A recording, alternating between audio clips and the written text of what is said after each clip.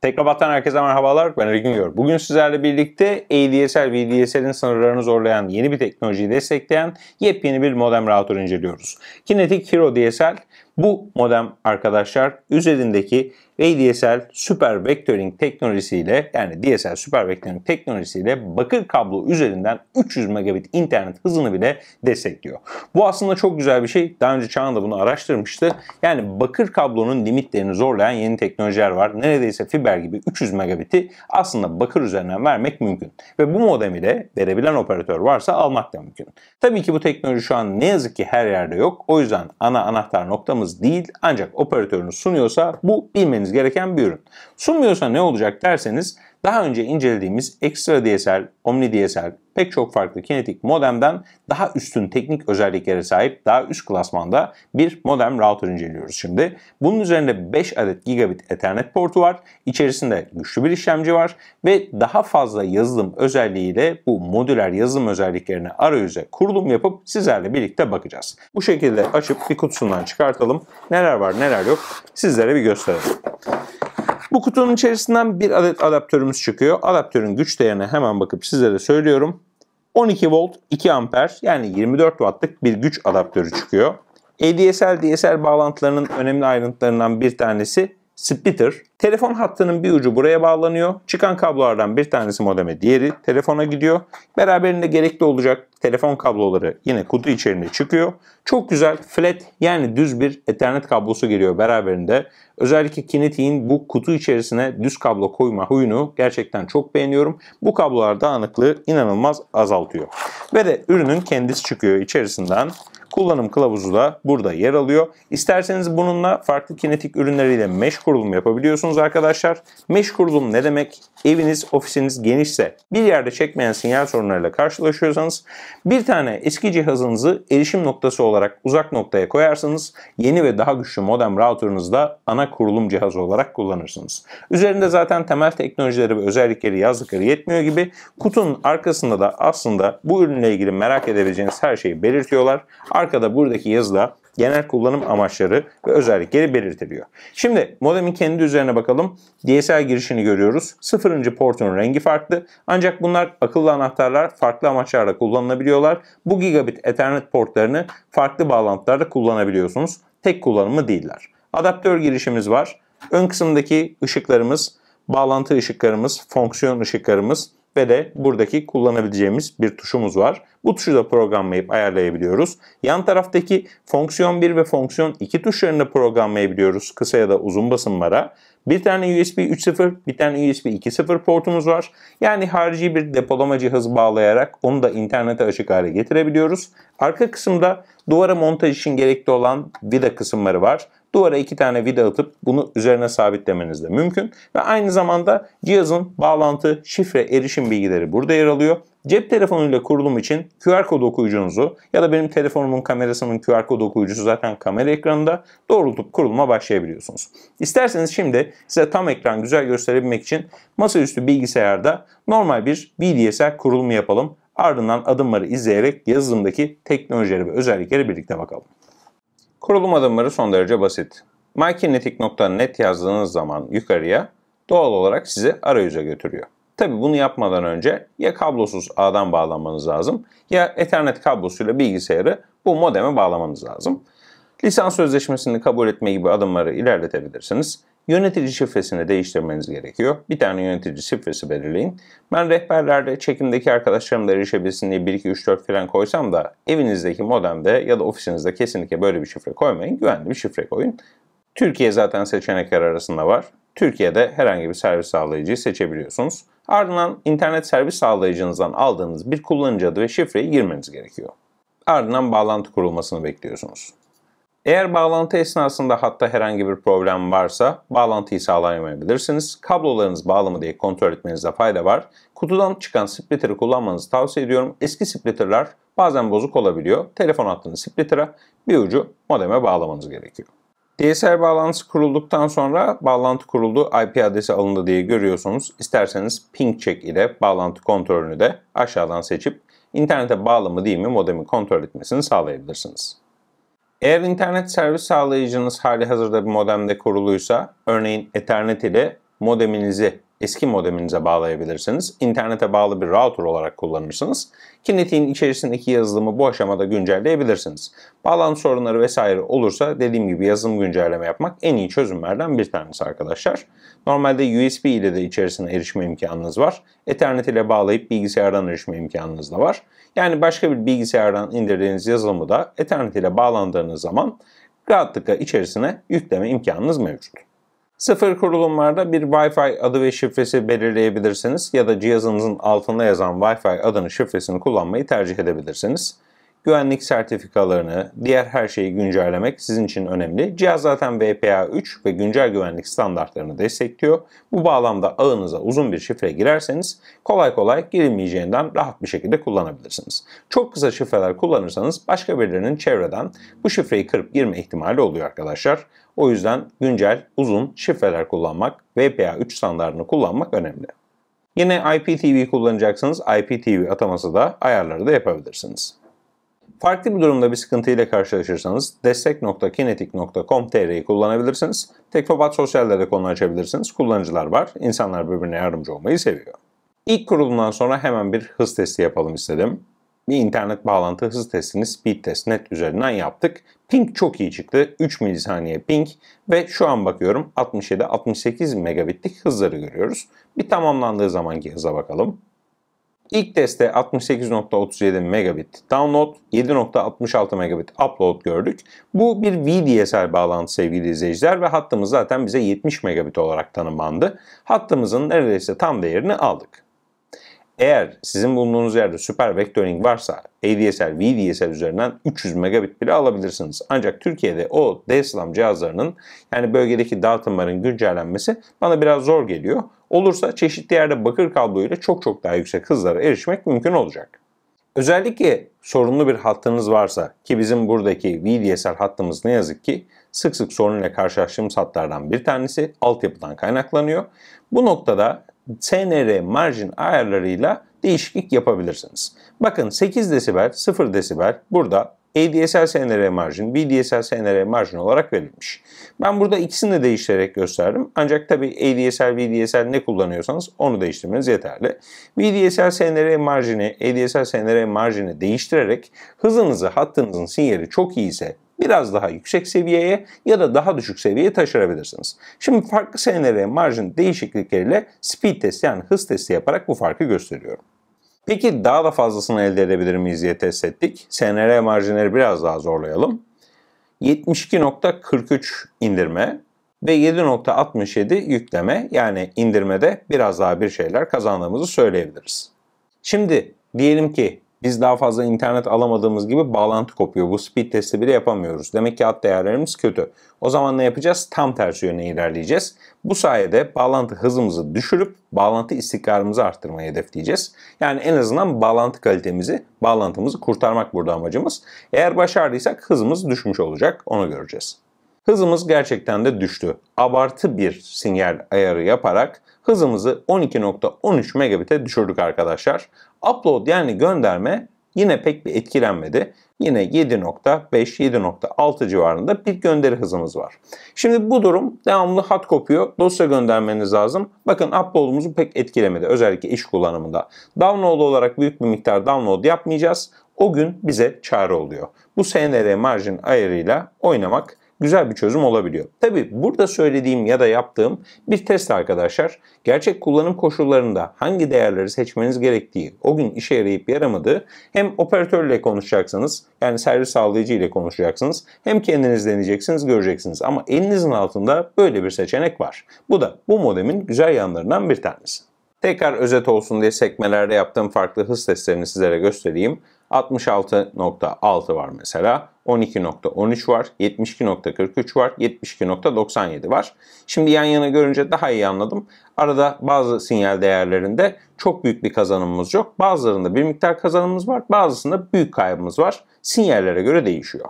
Eğer halen sıkıntınız varsa burada testi başlatabiliyorsunuz. Tanılama kısmına giriyorsunuz. Çarka tıkladıktan sonra ayarlarda tanılamada isterseniz sistem günlüğünü indirebilirsiniz biriyle paylaşacaksanız. Test yapabilirsiniz. Bağlantı Google'a bağlanıyor mu? Ping geliyor mu? Bir karşı tarafa erişebiliyor muyum? Ya da hata ayıklama modunu etkinleştirmek gibi seçenekleriniz de var. Burada farklı sorun giderme seçenekleri bize sunuluyor. Sistem günlüğüne bakmak genel olarak mantıklı şeylerden bir tanesi. Buradaki tabirleri okuyabiliyorsanız aradan bir şeyler tespit edebilmek için açıp bakabilirsiniz. Hata ayıklama modunu açtığınız zaman da bütün buradaki özellikle hatalar daha fazla loglanıyor. Daha fazla karşınıza çıkıyor. DSL kısmında zaten bağlantı hızınızı, atanabilir hızı, sinyal değerlerini, farklı değerleri görebiliyorsunuz. Paketleri görebiliyorsunuz. Hat performans raporu oluşturabiliyorsunuz.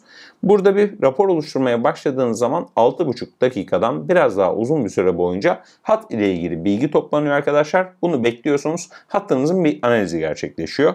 Buradaki dosyalar uzmanlara yardımcı olmak üzere hazırlanıyor. Hat performans raporu oluşturulduğunda ismini DSL Performance Report tarih olarak görüyorsunuz. Aşağıdaki diğer ayarlara tıkladığınız zaman da burada cihaz kullanım bilgilerini ürün geliştirme programı kapsamında mühendisleriyle paylaşma seçeneğiniz var. Bunu yapmanızı tavsiye ederim çünkü özellikle Türkiye'de belirli bölgelerdeki altyapılardaki hataları bu sayede giderebiliyorlar. Şimdi bu önemli kısımları geçtiğimize göre genel olarak arayüzde dolaşabiliriz. Bağlantı bilgilerini göster diyerek evinizdeki ağlara, Wi-Fi'lara QR kod ile insanların bağlanmasını da sağlayabilirsiniz. Kablolu, 4G, 3G, farklı bağlantı seçeneklerimiz var. Arkadaki gigabit portlara isterseniz ekstra internet hattınız varsa bağlayabilirsiniz. Bu ne işe yarar? Bağlantı öncelikleri kısmına girip bağlantıların sırasını belirlediğinizde birinci öncelikteki internet ana internet, diğer internette yedek internet olur arkadaşlar. Bu sayede kesinti olduğu zaman ikinci bir hatta bağlı cihazlar internete erişmeye devam edecek şekilde bir ayarlama yapabilirsiniz. Cihaz listesine isterseniz MAC adresiyle bilgisayar adıyla tek tek cihaz ekleyebilirsiniz. Bağlı olan cihazları cihazları zaten bu listenin altında da görüyorsunuz. Kayıtsız cihazlar, kayıtlı cihazlar için farklı ayarlar oluşturma imkanınız da var. Burada hangi banda kullanacak, hangi cihaza bağlanacak, misafirinizin misafir ağına, ana cihazlarınızı ana bilgisayar ağına bağlayabilirsiniz. Bütün kablosuz ağ ayarları burada mevcut. 2.4 ve 5 GHz arasında bir tercih de yapabilirsiniz. Şöyle bir tercih yapabilirsiniz. Eski aldığınız modemi ya da router'ı atmanıza satmanıza gerek yok genetikte modüler olarak kullanabiliyorsunuz. İçeride bir erişim noktası yaparsınız. Bu noktada mesh olarak çalışır. Mesh olarak çalıştığı zaman sizin telefonunuz hiç Wi-Fi'den kopmadan içeri kısımda da aynen bağlantısını sürdürür. Tabi bu noktada hızlı geçiş ayarları var. 2.4-5 GHz bantlar arasında öncelik ve tercih yapabiliyorsunuz. Onu da burada görebilirsiniz. Band steering kısmında 2.4 ya da 5 GHz tercih etmesini seçme imkanınız mevcut. Misafir özellikle çok misafir ağırlıyorsanız tavsiye ederim. Mevcut cihazlarınız ve işleriniz aksamadan kullanabilirsiniz. Buradaki cihazlar için mesela dosya indirme, gönderme için kısıtlamayı yapabilirsiniz. Asimetriye tıklarsanız indirme ve göndermeyi ayrı ayrı kısıtlamış oluyorsunuz. Porta göre, ağa göre bu kısıtlamaları yapabilmek çok güzel. Daha önceki videolarda da bahsetmiştim. Sizin dosya göndermeniz gerekirken diğer sistemlerin sömürmesini engelliyorsunuz. Bahsettiğim mesh sistemi ile ilgili ayarlarda burada arkadaşlar mesh sistemi için bütün yapmanız gereken bu cihaza başka bir kinetik cihazı bağlamak. Zaten bütün kinetik cihazlar router olsun modem olsun kendi arasında bu rolleri üstlenebiliyorlar. Cihazın çalışma modunu değiştirebiliyorsunuz. Ben bunu modem değil router olarak kullanacağım derseniz sadece bir router olarak kullanabilirsiniz. Bir erişim noktası olabilir. Ekstradan internet güvenliği isteyenler için Yandex DNS, Safe DNS, Cloudflare DNS gibi farklı seçenekler var. Burada varsayılan kuralları da belirleyebiliyorsunuz. Standart ya da aile güvenliği gibi ayarlar da var. İsterseniz DNS'lere de girebiliyorsunuz. Kinetik'te sevdiğim özelliklerden bir tanesi bu. Yani internet güvenliği herkes için gerekli mi? Çoğumuz için gerekli. Özellikle ofisler için Cloudflare DNS gibi özellikle daha gizlilik odaklı ya da bağlantıda güvenlik odaklı ayarların olması bence güzel. Güvenlik duvarı ayarları var. Farklı servis sağlayıcılar için farklı farklı kurallar oluşturmanız mümkün. Birden fazla internet servis sağlayıcı kullanıyorsanız biri diğerinden daha farklıysa orada farklı bir kural oluşturmayı tercih edebilirsiniz.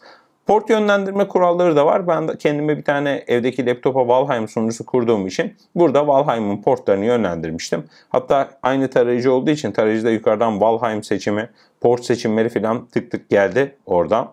İsterseniz TCP, UDP olarak değiştirebiliyorsunuz. Protokolleri belirleyebiliyorsunuz. Portu belirleyebiliyorsunuz. Ezbere hatırlamadım hangi portları yönlendirdiğimi ama dediğim gibi gayet kolay. Statik yollarda route yani hatlar oluşturabilirsiniz.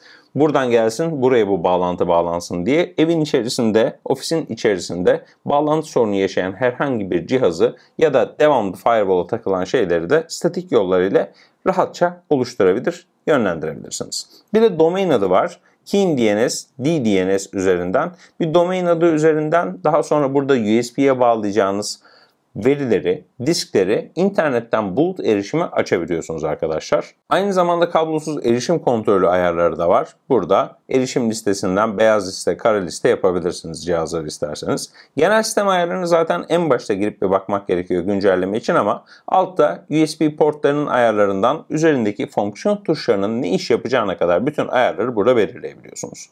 Bir de ön izleme ve geliştirici sürümlerine geçme şansınız var. Sizin istediğiniz çok ileri bir özellik geliştirici sürümüne gelmiştir. Geçer denersiniz. Bir de sistem dosyaları kısmında firmware'ı, config dosyasını ve diğer dosyaları bilgisayara kaydetme seçeneği var. Dosyayı değiştirme seçeneği var. Bunlar da güzel. Hep yazılımın modüler olmasının bunlar avantajları arkadaşlar. Yani içerisindeki modülleri değiştirebiliyorsunuz. İçerisindeki yazımı yedekleyebiliyorsunuz. Yazılım güncellemesi sırasında zaten kendi içerisinde bir tane daha yazılım yedeği var. O yüzden bir şey güncellemede aksi giderse de eski firmware'i yüklüyor. Yine burada tuşların özelleştirmesindeki seçenekleri gösteriyorum. Hızlı basarak, uzun basarak, çift basarak gibi seçenekler var. A portlarında da değişiklik yapabilirsiniz. Eğer isterseniz A portlarının hepsini tam hızda, isterseniz bazılarını daha düşük hızda çalıştırabilirsiniz. Full duplex, auto negotiation, half duplex, auto negotiation, full duplex gibi seçenekler var. 10 megabit, 100 megabit ya da gigabit olarak yapılandırmanız mümkün. Daha hesaplı olan ekstra modelinde 100 megabit portlar kullanılıyordu. Daha üst seviye olan buradaki Hero modelinde gigabit portlar var. Zaten en büyük avantajlardan bir tanesi de bu arkadaşlar. Bu noktada alttaki uygulamalardan kişisel bulut, SMB sunucu, medya sunucu, ortam kitaplığı gibi seçenekleri de açabiliyorsunuz. Bağlı olan USB cihazları da yine bu menüden görüyorsunuz. Örneğin torrent istemcisi yapacaksınız ya da başka bir şey yapacaksınız. Yine buralarda dosyalarınızı görebiliyorsunuz. Kullanıcı yönetiminde ekstra kullanıcı oluşturma seçenekleri var ofis gibi ortamlar için. Ama dediğim gibi arayüz temiz, güzel, her şey modüler, hat değerlerini görmek, değiştirmek mümkün. Bir de bu cihazda 2x2 Mu MIMO desteği var arkadaşlar. Ağların ve kablosuz ağ altına geldiğinizde yine burada ev ağı için gelişmiş ayarları yaparken aşağıdaki ayarlardan bunları kontrol edip kendiniz de görebilirsiniz. Ülke özellikle sinyal standartları için sunulmuş. Burada 5 desibellik güçlü 4 tane anten var. Bu antenlerin kazanımları yüksek. Özellikle Airtime Fairness önemli ayarlardan bir tanesi açık olduğundan emin olmanız gereken. Çünkü diyelim ki bir akıllı ampul bağlanıyor. Akıllı ampul aslında çok az bir internet tüketiyor ama devamlı bağlantı tüketiyor. İşte akıllı ampulde indirme yükleme yapan bilgisayarın eşit internet hattı işgal etmemesini özellikle Airtime Fairness gibi ayarlarıyla sağlıyor. O devamlı bağlı olması bir yandan bağlantının sıralı bir şekilde yapılması gibi ayarları akıllı şekilde cihazlar gerçekleştirebiliyor. Daha giriş seviyesi cihazlarda bu tür özellikler yok arkadaşlar. O yüzden daha üst seviye cihazlara doğru çıktığınız zaman böyle avantajlar olduğunu söyleyebiliriz. Peki kablosuz ağ bağlantı gücü ve hızı nasıl? En önemli nokta sinyal gücü, sinyalin eriştiği mesafe ve tabii ki hız. Ofis içerisinde yaptığım bir testte bir ofis laptopu ile birlikte AC bağlantı üzerinden bağlantı kurdum. AC Wi-Fi 5 demek arkadaşlar. 2.4 GHz ve 5 GHz bantlarını kablosuz olarak birbirinden ayırdım. Normalde Kinetic'in kablosuz ağı ikisini bir arada sunuyor. Sizin cihazınız otomatik olarak 2.4 ya da 5'e bağlanıyor. 2.4 GHz daha uzun menzilli fakat daha düşük hıza sahip. 5 GHz daha kısa menzilli fakat daha yüksek bir band genişliğine sahip. Bu özellikle televizyona 4K görüntü aktarırken ya da yüksek miktarda kablosuz veri transferi yaparken önemli. Peki hız testini mesela nasıl etkiliyor? 2.4 GHz bandından bir download upload testi yaptığımızda 157.21 MB download, 122.67 megabit upload olarak bir değer görüyoruz. 5 GHz'e geçtiğimiz zaman bu değerler 487.05 megabit ve de 295.66 megabit oluyor. Gördüğünüz üzere hem 2.4 hem 5 GHz bandında oldukça yüksek band genişlikleri var. 5 GHz her zaman daha avantajlı, daha yüksek band genişliği sunuyor. Fakat elbette ikisini de kullanacağınız yerler birbirinden ayrı. Bu noktada Kinetic Hero modelinin incelediğimiz giriş seviyesi modellere göre daha güçlü bir kablosuz ağ sunduğunu da söyleyebiliriz. Buradaki testler elbette 1 gigabit'e 300 megabit bir hat üzerinden yapıldı. Normalde ADSL üzerinden böyle bir hız sunulmuyor arkadaşlar. Bu yüzden Ethernet ile router modundayken kablosuz ağ testini yaptığımızda söyleyelim. Şimdi bir özetleyelim. Omni DSL giriş seviyesiydi. Extra DSL genel olarak çoğu kullanıcıya hitap edecek. Yine fiyatı güzel ama özellikleri daha gelişmiş bir model. Bunun üzerinde artık Hero modeli özellikle dikkat çekiyor. USB portları var. Daha çok Ethernet portu hızı sunuyor bize. Gigabit Ethernet portu hızları sunuyor. 2.4 GHz'de 400 megabit, 5 GHz'de 867 megabit hız sunabiliyor. Hayır ben daha da fazlasını istiyorum. 2x2 Mu Mimo yerine 4x4 Mu Mimo olsun derseniz de bunun bir üzerindeki modele bakıyorsunuz. Onun adı da Peak DSL. Ancak bu noktada ben bunun içerisindeki süper vektörüngi kullanmayacağım. Bana daha hesaplı modem lazım diyorsanız dediğim gibi daha hesaplı olan modellere bakabilirsiniz. Öte yandan bu cihazla birlikte sadece bu daha gelişmiş ADSL, VDSL standartları destekleyen Türkiye'deki servis sağlayıcıların hepsiyle uyumlu olan yani DSL teknolojilerinden bahsediyorum. Modem almış olmuyorsunuz. Güçlü router özellikleri almış oluyorsunuz. Hem kablosuza hem mesh hem Mumimo hem bu üzerindeki cihazların bağlı cihazların airtime fairness ile bağlantıyı işgal etmemesi yani daha çok cihazın olduğu ofis ve evlerde cihaz bağlantı problemleriyle karşılaşmamak için bu kesinlikle daha iyi. Modem kısmına ihtiyacınız yoksa Kinetic Giga modeli bununla aynı özellikleri sunuyor ancak içerisinde modem yok. Yani kendi başına hatta bağlayıp internete bağlanamıyorsunuz. Bağlı olan bir modeme bağlamanız gerekiyor. Bunda o özellikler de var. Bu açıdan 200 lira civarı ikisinin arasında fiyat farkı var. Bir tane 800 TL'lerde inceleme tarihinde bu 1000 TL'ye yaklaşan bir fiyatta fakat buna değiyor. Bunun üzerinde de dediğim gibi Peak modeli var. Peak modelindeki Ethernet port sayısı daha da fazla oluyor. Bu MIMO'da 4x4 oluyor. Özellikler artıyor. Ama bütün ürünlerde bu bulut işletim sistemi, modüler işletim sistemi karşımıza çıkıyor. Kinetic OS devamlı güncelleniyor. Geçtiğimiz günlerde yayınladığımız videoda güncellemenin neler getirdiğinden bahsetmiştik. Bu güncelleme sonrasında özellikle şunu anlıyorum ki Kinetic Türkiye'de bu DSL modemler konusunda hat değerleri, sinyal güçleri, bunlarla ilgili bizim yapabileceğimiz ayarlar, bunlarla ilgili hata raporlarını indirme ve de çok fazla cihazı olan yerlerde bu cihazların ağda rahat bağlı kalması gibi ana problem çözümlerine odaklanmış durumda. Bu sade güzel cihaz son derece iyi bir performans sergiliyor. Kablolu ve kablosuz performansında evinde daha yüksek bağlantı hız ihtiyacı olanlar ofisinde bunu rahatlıkla alıp kullanabilir. Bu açıdan memnun kaldığımızı söyleyebilirim. Pek çok kinetik incelemesinde bu yazılım kısımlarında anlattığım şeyler aynı ya da ortak olsa da bu videoda biraz daha SNR ayarlar üzerine durarak bütün ekosistemle ilgili anlattıklarımı geliştirmeye çalıştım. Sonraki videolarda özellikle görmek istediğiniz, merak ettiğiniz noktalar varsa lütfen belirtin. Bir yandan cihazın donanım özelliklerini inceleyip yazılımın üzerinden geçerken diğer yandan da bu istediğiniz ek detayları paylaşmaya çalışalım arkadaşlar. Yine yorumlarınızı beğendiyseniz beğendim, beğenmediyseniz beğenmedim tuşuna tıklamanızı bekliyoruz. Yeni videolarda görüşmek üzere. Kendinize iyi bakın ve hoşçakalın.